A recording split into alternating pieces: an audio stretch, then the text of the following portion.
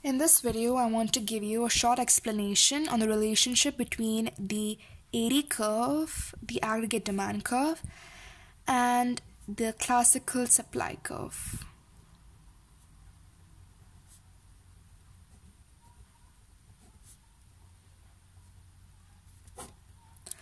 Now, just for a recap, the classical supply curve is an vertical supply curve that operates at full employment in an economy.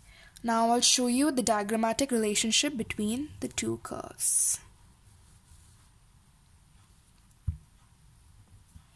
Now, this is your output level, and this is your price level. and that's your y-axis and your x-axis okay so now first we start to draw one of the two curves. I'll start with the classical supply curve. That is your long vertical line your aggregate supply curve. And your as usual the downward sloping aggregate demand curve. And this would be operating at a price level of P1. Now the output, since it's a classical supply curve, will be operating at Y star, that is at your natural rate of unemployment.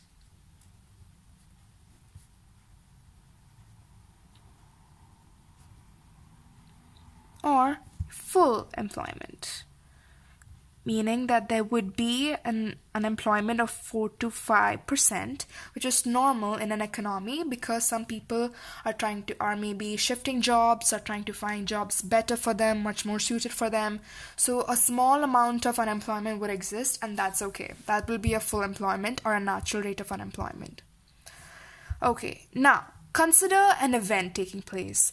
Maybe there is a sudden increase in monetary supply, or maybe the government decided that there will be tax cuts implemented.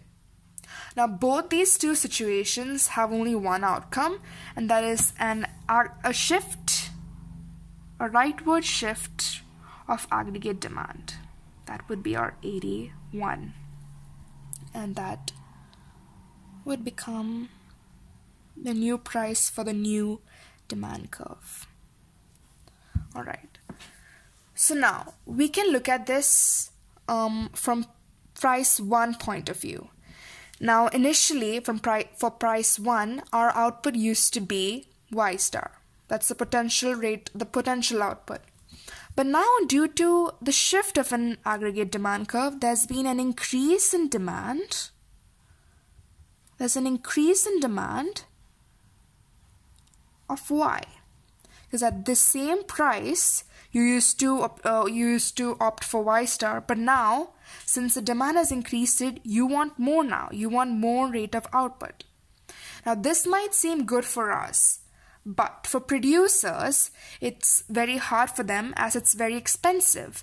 The cost of production, the cost of production is very high because we're already operating at a full uh, employment and a natural rate of unemployment. And for producers to produce up to an output of Y, they would need to increase their cost of production as they need to give higher salaries to workers from workers that who are already working in well settled places.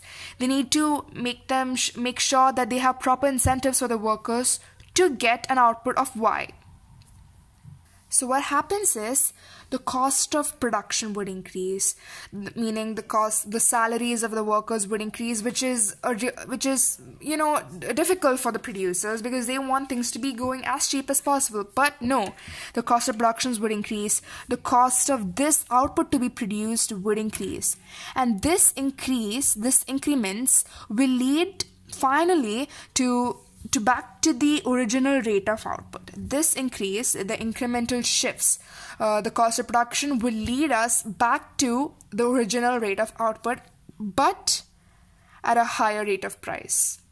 So, in this scenario, the increase in demand, the shift in demand, does not lead to a higher output, but rather it leads to uh, a higher price for the for the same for the output produced.